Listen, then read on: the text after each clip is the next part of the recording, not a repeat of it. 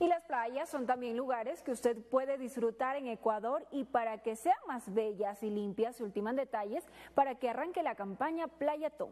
Esta campaña es liderada por el Ministerio de Ambiente y tiene como finalidad recoger la basura de las playas del Ecuador. El Ministerio de Turismo también se unió a esta misión ambientalista. Mantener las playas limpias es la mejor carta de presentación que tenemos ante el mundo. El Ministerio del Ambiente arrancará con Playaton, una campaña que moviliza a miles de voluntarios que visitan las playas ecuatorianas para recoger los desechos.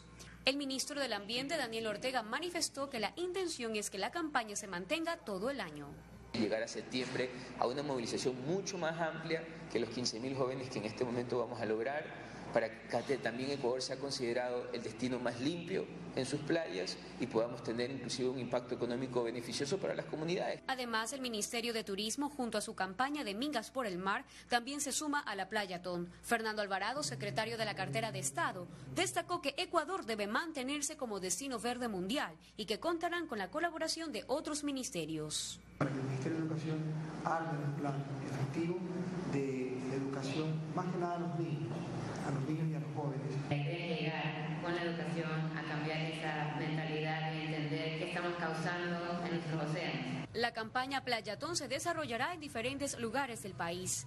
Y vamos a estar en Playas Villamil, en Chipipe, en Salinas, en Crucita, en Manabí y en Atacames, Esmeraldas además de tener una presencia permanente en los parques nacionales. Se prevé que el 7 de febrero arranque la gran movilización de voluntarios. María Gabriela Castro, Gama Noticias.